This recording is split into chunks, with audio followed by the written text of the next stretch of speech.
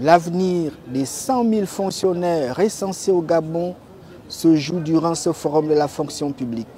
Le gouvernement a plusieurs solutions dans sa manche pour faire aboutir les revendications des agents de différentes administrations publiques. Les fonctionnaires, les retraités notamment, sauront dans quelques heures de quelle manière les décisions de ce forum affecteront leur avenir individuellement. On n'aura plus besoin de transporter des, valises de, dossiers d'un ministère à un autre pour pouvoir euh, faire du recrutement. dès qu'on a numérisé, on a numérisé les documents, alors tout se, tout se passe dans le réseau. Euh, sur tout le circuit, vous avez des signataires qui vont simplement contrôler, signer, contrôler, signer jusqu'à l'aboutissement du dossier. On ne va plus vivre les pertes de dossier. On est quelquefois soupçonné de, soupçonné de, clientélisme, de, corruption, de, favoritisme. Alors là, il n'y aura, plus, de crainte parce que le premier dossier qui est rentré, c'est le premier dossier qui sort. C'est un principe de FIFO. Première entrée, première sortie.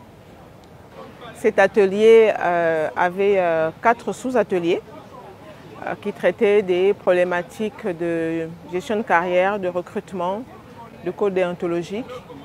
Et le premier sous-atelier consistait à faire un état des lieux de ce qui ne va pas dans l'administration en matière de gestion RH et quel type de solutions on pourrait proposer à, cette, à cette gestion RH nous avons, au cours de ces trois journées, euh, travaillé sur ce qu'on appelle le cadre juridique de la fonction publique.